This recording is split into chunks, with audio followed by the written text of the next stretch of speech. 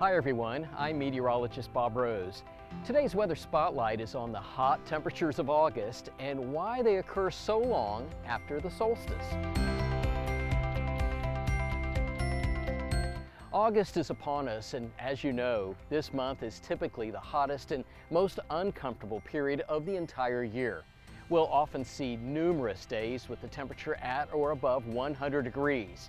The month drags on with almost no day-to-day -day change in the weather. But have you ever wondered why the hottest temperatures of summer typically occur about now and not back around June 21st, the time of the summer solstice?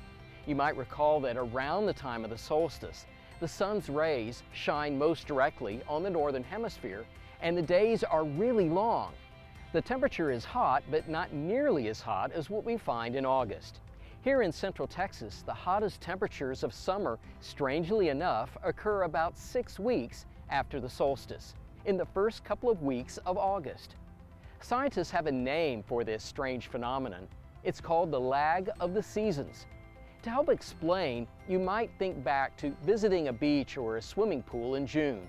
Even though the days are long, the water still feels a little cool. That's because the summer sun hasn't had enough time coming out of spring to heat up the water. But by August, we've had numerous hot, sunny days and the water is really warm. The same thing happens with our atmosphere. The sun hasn't had enough time to really heat things up by the third week of June.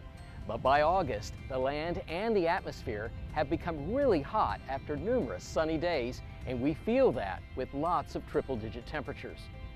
Fortunately, the temperature reaches a peak about mid-August.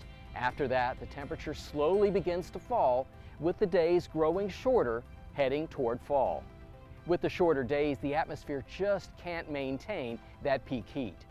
And after a sweltering August, that first cold front of autumn can't come soon enough.